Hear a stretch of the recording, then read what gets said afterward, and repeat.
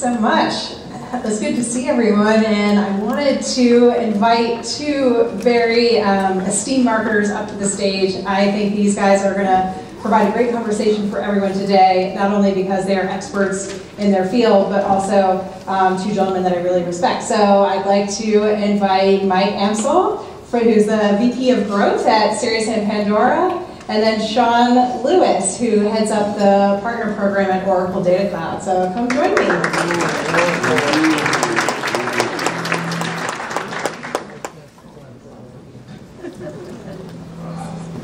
So before we get into kind of brass tacks with this very um, uh, very timely topic today. I thought it would be good just for you guys to introduce yourselves a little bit more, talk a little bit more about your background. I think um, Mike, you've been in marketing for over 15 years, got a breadth of experience. Um, so I'd love to get a little more information about you, and then Sean will hear more about you. You've had kind of a more circuitous path yep. um, in a lot of different areas, including documentary production. Yes, right? yeah, roundabout way to get into marketing. So Mike, tell us a little bit more about yourself. Yeah, cool. Uh, it's uh, great to be here. Um, so it's great to be here. Uh, my, my history is really around customer acquisition. So how do we go and invest in digital channels to find user growth and positive margins return? Um, I've been doing it through several companies now. I uh, recently joined Pandora about a year ago, and then Pandora recently was acquired by SiriusXM in about uh, 90 days, 100 days ago. Um, with that acquisition, we're actually unifying our growth team, across Pandora and Sirius, to find the most efficient ways to find customers. Yeah, and as Cary mentioned, I started off in documentary film production out of college. Um, so not the most intuitive path to get to marketing. Uh, but from there, moved into an agency role at Performics and was actually on the keyboard buying media. Um, and then from there, went into Kenshoo on more of the ad tech SaaS side, and then was really interested in data, and then has since come over to the Oracle Data Cloud um, and worked on our partnerships team here for the past three years. Awesome. And just, I guess, a little context is only fair to share about who I am in my path, too. So I'm a co-founder at Social Code, so I've been there since the very early days and actually have my roots starting at an ad agency, worked um, on the on the publishing side for the Washington Post and Slate, um, and then started to kind of think about technology in a way of how does it impact communications in society. So I had a little stint at the Aspen Institute as well. So this topic is super exciting to me. Um, actually wrote my master's thesis on privacy in the digital world. so, so, very related topic. So I'm excited to get into it with, with you guys and hear your opinion. So just to kind of set some context for everyone, I'm sure that unless um, most of you have been living under a rock recently, it's no big surprise that um, you know there's been a very big shift in the ecosystem, and you know as, as mentioned at the sort of start of the panel, consumer trust is kind of at an all-time low as far as thinking about brands and how they're handling their customer data. And it was just over about a year ago um, that there was really that kind of big um, impetus that kicked everything off into like really making public awareness just um, spread quite quickly. And it was, you know, as, as you all know with Cambridge Analytica, sort of the scandal um, with this political consulting firm who was able to um, kind of get access to customer data from Facebook. And it, you know, without, you know, it just asked, you know, it sort of opened up a lot of questions and all of a sudden, you know, not only marketers were asking questions about, oh wait, like how are, you know, how are these, you know, these digital platforms that I rely on, how are they um, managing my data, but also like individual customers. We also hear a lot about data hacks with these major brands. Um, so it can be it can be a little bit intimidating sometimes, but but also we know that data is kind of the most valuable marketing asset you can have too. So where I'd like to kind of start is thinking about you know there's you know this also kicked off sort of a lot of discussion about regulation. So with GDPR in Europe, and then even here with the California Consumer Privacy Act that I think goes into effect this January, um, there's a lot of changes. And I think one of the places I'd love to start is just thinking back to a year ago for and Sean, like what was the most immediate impact that you that you saw? So I think Mike thinking about on the marketer side, what was the reaction for marketers? And then Sean, obviously coming from a data solutions provider, I'm sure that had a great impact on your business as well. Yeah, from the advertising perspective, uh, to pick back a year ago, there's a lot of mythical data that we never really understood. Um, nothing is ever too good to be true in digital marketing. I feel like when you look at your performance and you can't explain what's happening, it's normally coming from something that actually is either wrong or not transparent. Uh, and so, uh, the data sources, and even the, the requests that we get to advertisers of, hey, we have this new data source, can you use it? All that's faded away, and now a lot of our focus and advertising focus is around only understanding the data source is performing, like relationships, first party with other companies. Yeah, and, and from the ODC perspective, I actually covered the Facebook partnership, so Facebook was my client when this happened. Um, so my day-to-day changed drastically. so it went from really uh, working. is that what happened to your shoulder? this, this injury was a Facebook data induced injury. I was actually swimming, which might be more pathetic. But um, so, uh, in terms of working with Facebook, we used to send our audiences directly into Facebook's platform. There, there were partner categories in there. Um, and Oracle Data Cloud has a, ton of offline uh, transaction audiences that we send into publishers. So some of our data providers would be Visa, MasterCard, and we send those audiences into publishers. Um, so we were historically, from since 2012, sending audiences into Facebook, and they were publicly available off the shelf. Any advertiser could go in and use these audiences for ad targeting. Um, and then in the wake of Cambridge Analytica, they deprecated their partner category program. Um, and so that, that kind of massive shift uh, that that caused, at least from our day-to-day, is that we had to go identify new partners in the ecosystem. So we started partnering with agencies, API partners such as Social Code, um, in terms of uh, enabling our data to, to these partners that want to activate media um, and, and allowing them to, to activate the audiences back into Facebook. Um, so really kind of the shift was more so, uh, it's, it's a simple shift from the Facebook standpoint of, the, of in reaction to Cambridge Analytica, uh, they wanted to provide more transparency around how audiences were created and how ads were targeted. Um, as part of that, they wanted more transparency in the, in the data curation process, which is where we play a role, um, and, and forced us to work directly with advertisers, agencies, and API partners to set up those relationships and explain how, how we do what we do. Do you feel that the data providers were sort of unfairly scapegoated in some respects, or do you feel like it, you know, what was your kind of perception of how this was PR rolled out? Yeah, um, so I, I, initially I felt empathetic towards Facebook because um, like they every day they're in the media for some other data breach. Um, some of it is their fault, uh, others not, um, and, and, really kind of I, I, understood why they made the decision that they made.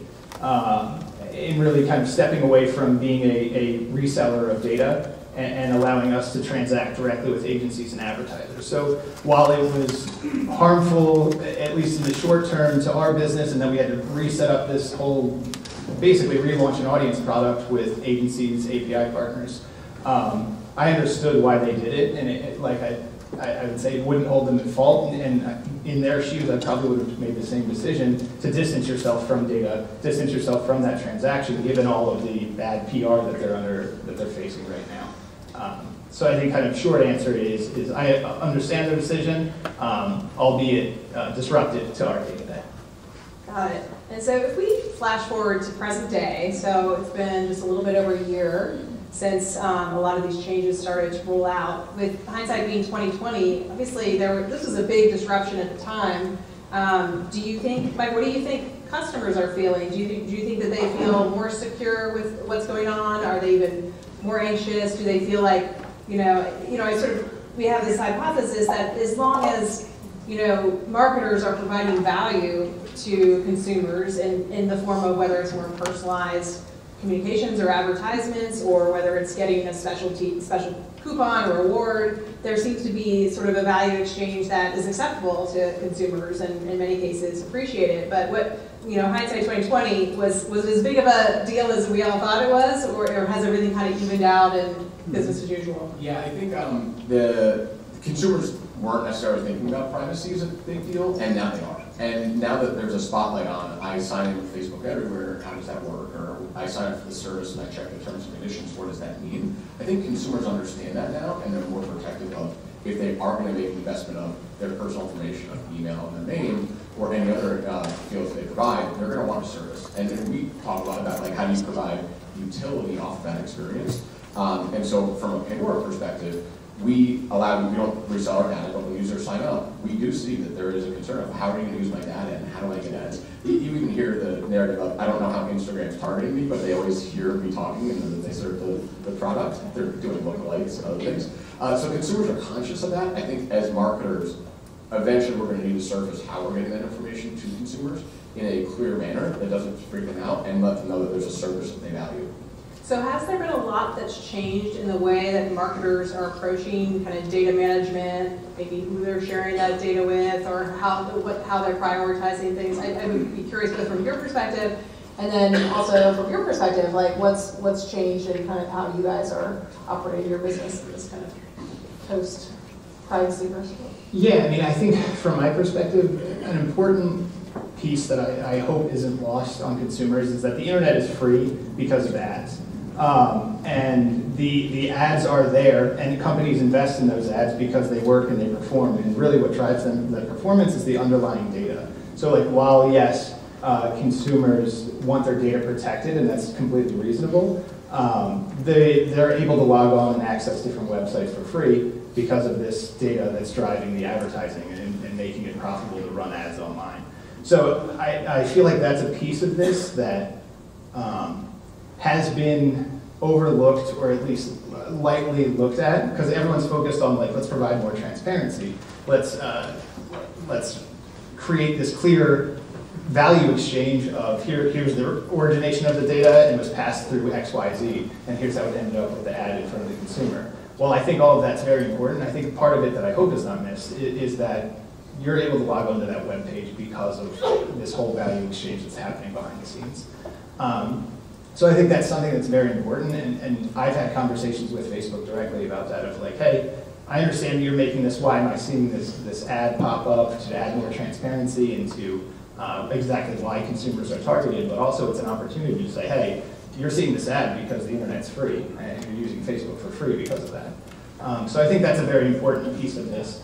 Um, and then just in terms of how our, our customers have evaluated data, advertisers have never really had to grade data quality before.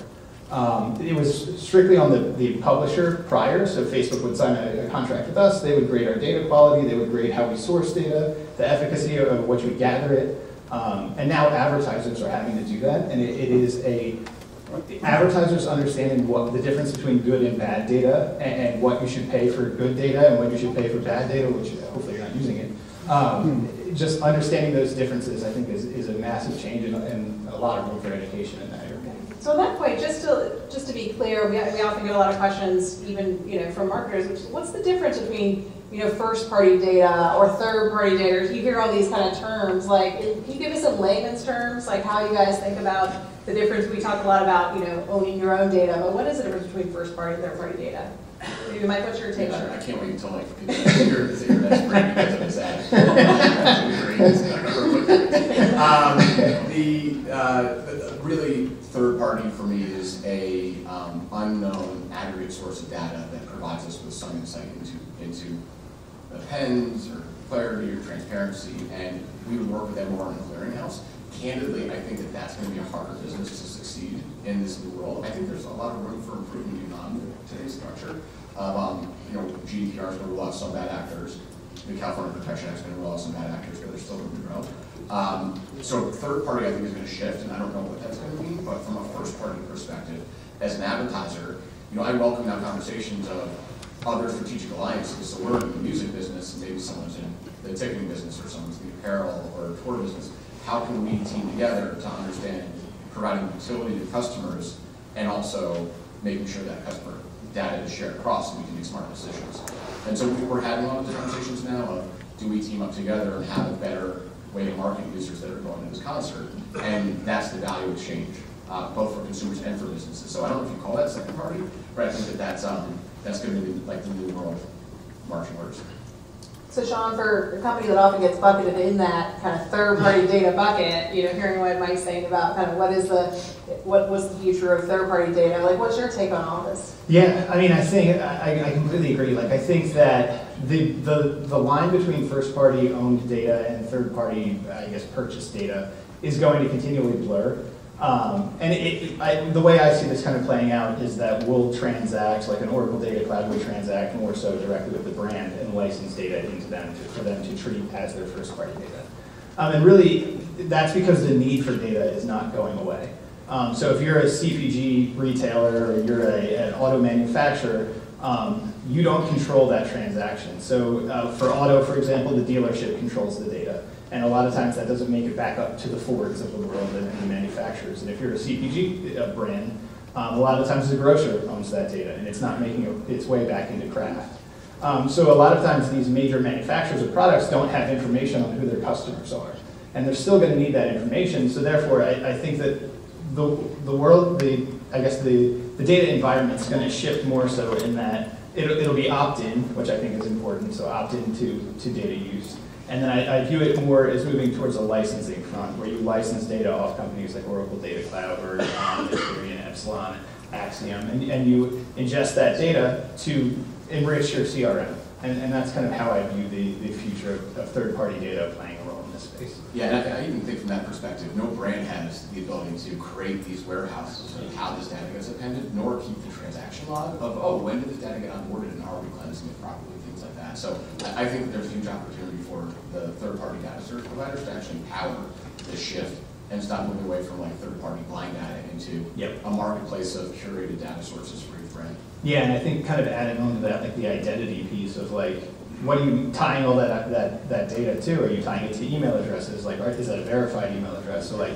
the, a lot of the third-party data companies, a big piece of that is the identity. So how do we match that data to a publisher? How does Oracle match an audience into Facebook? And it's, it's via house, like a householding process.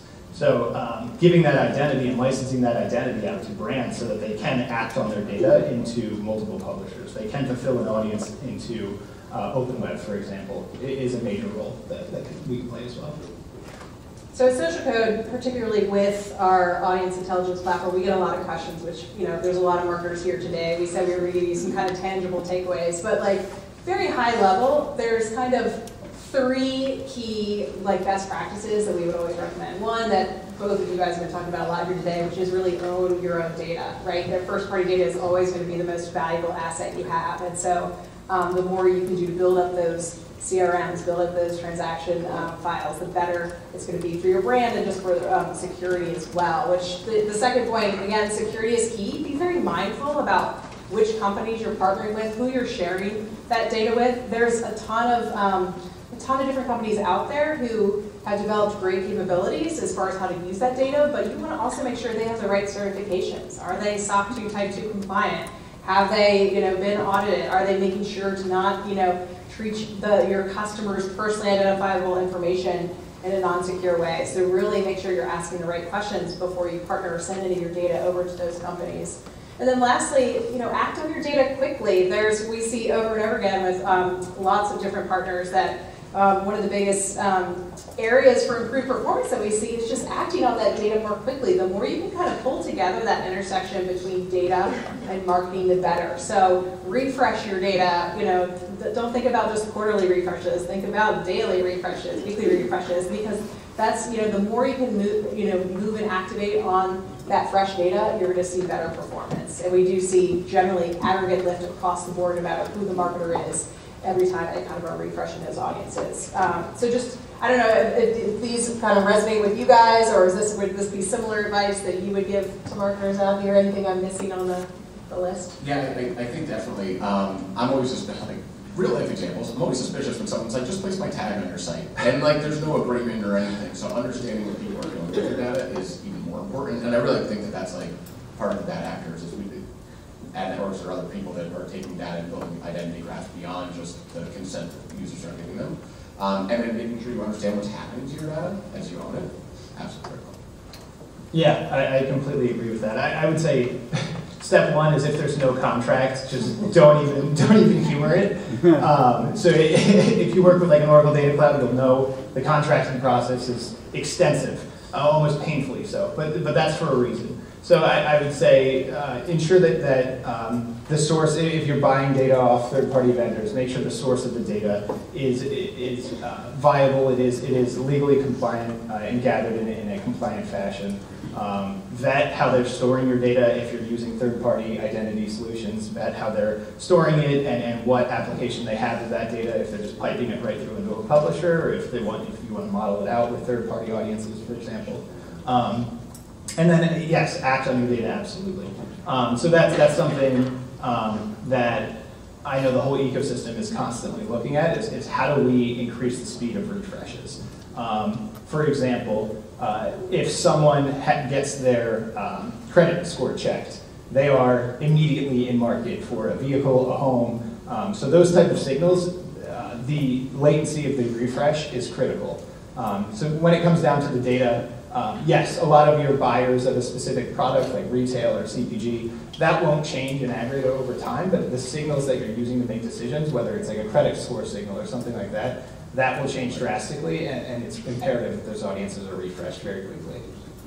So let's flash forward a little bit, thinking about how do we future-proof our businesses, and you know what does the future hold? Uh, do you think that other digital platforms will follow suit with the kind of the steps that Facebook's taken? How are your companies thinking about like future-proofing this business? Uh, yeah, I mean, it's a concern, so understanding how much control or even insight and transparency we can get from the major media buying platforms like Google and Facebook, when they're using our audiences, how they're using our audiences, frequencies against users. Um, you know, we're gonna have to figure that out with them together. Um, I hope that that improves and that makes our marketing smarter and we can use frequencies across the channel to then influence other marketing efforts. Uh, on the other side, I think that the consumer experience will improve dramatically.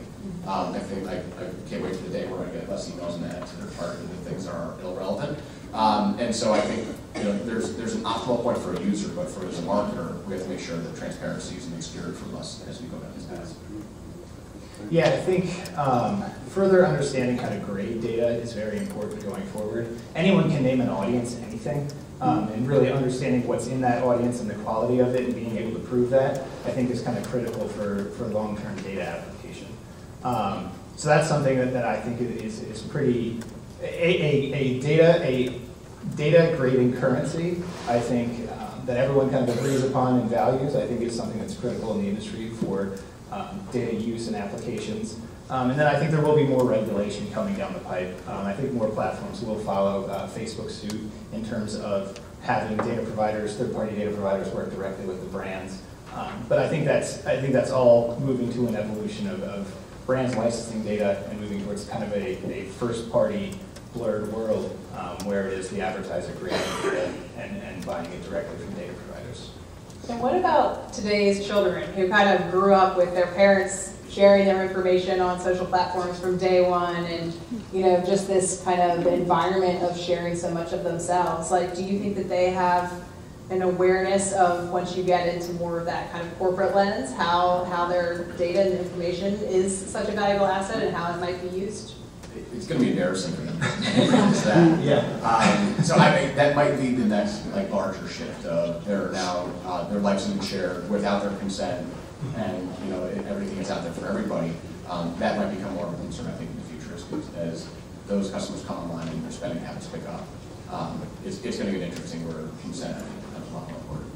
Right, yeah, like your whole life is documented, like from baby pictures through when you're an adult now. Um, so I, I, I think, yeah, uh, having some form of consent or some way to control, like, hey, after five years, I want these things pulled down. um, so yeah, I, I do think that from the consumer lens, that having more control over your data use and application um, will be something that, that happens and potentially at the browser level. So uh, Safari or Chrome um, allowing you to control exactly what levers uh, different publishers can access. Um, but I, I think that is a ways off in terms of being actionable and agreed upon across the, the entire industry. And probably a lot more job opportunities too. There's going to be a huge need for people who understand data how to use it for good not evil. So thank you everyone. Um, please continue the conversation with us. Um, Sean, Mike, and I will all be around for a little bit afterwards, so thanks for sharing your time with us.